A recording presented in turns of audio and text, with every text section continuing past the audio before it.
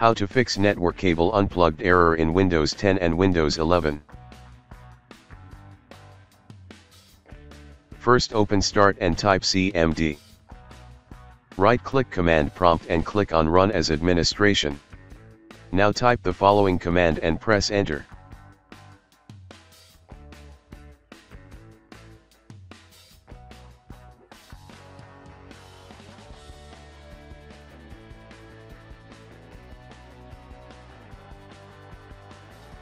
Press enter.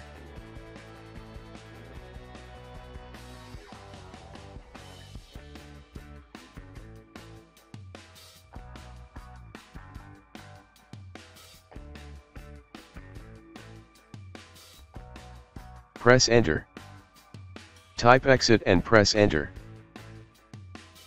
Now restart and your problem should be fixed.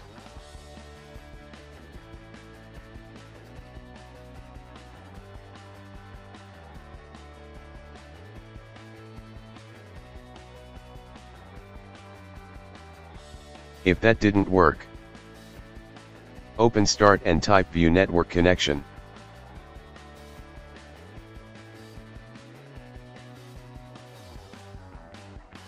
Click on view network connection.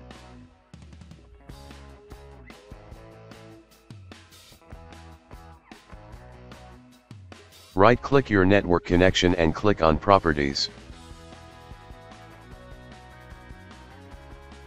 Select QoS Packet Scheduler and click on Configure.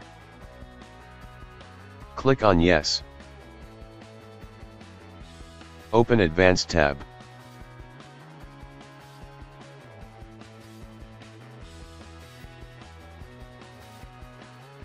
Click on Speed and Duplex.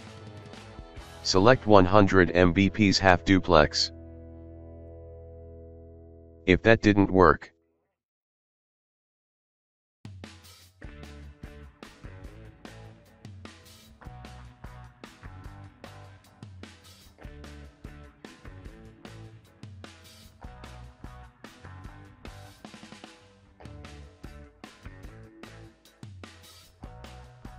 Select 10 Mbps half duplex and press OK. Hope your problem should be fixed, thanks for watching.